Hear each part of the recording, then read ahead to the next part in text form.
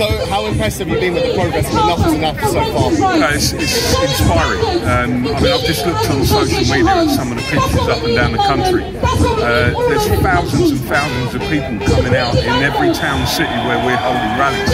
And I think what we're doing, we're bringing together trade union work, workers everywhere not in trade unions. We're bringing together community organisations and we're forging a new political consensus in the UK. We're going to kick out the Tory government and we're going to make sure that Labour go into the right place and stand up with working class people. And as I keep saying, if Keir Starmer does the right thing, we'll back him. If he does the wrong thing, we'll call him out.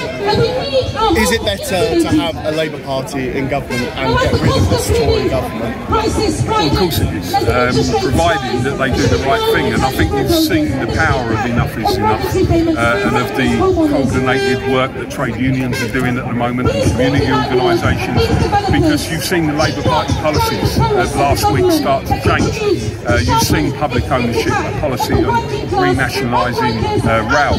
You've seen that with the energy companies, which I think is a big shift for the Labour Party. Uh, and we need to be absolutely clear it. You know, it's the power of campaigns like this, the power of people that have forced Labour into that position, and we're going to continue to do that. How essential is it to balance momentum with longevity?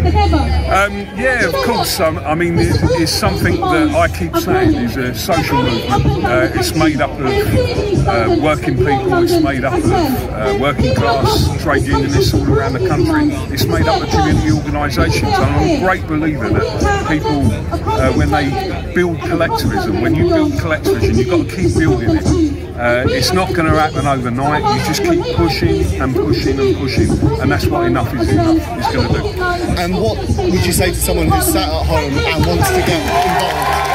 Uh, what I always say is, I think there's millions and millions that want to see change happen. But I always say change is not a spectator sport. If you want to, if you want it to happen, get out, join the rallies, join the protests. We'll be calling more forms of collective action. You can be part of this. You can be part of history, bringing change, the right change to the UK. Cheers, Dave. Appreciate it.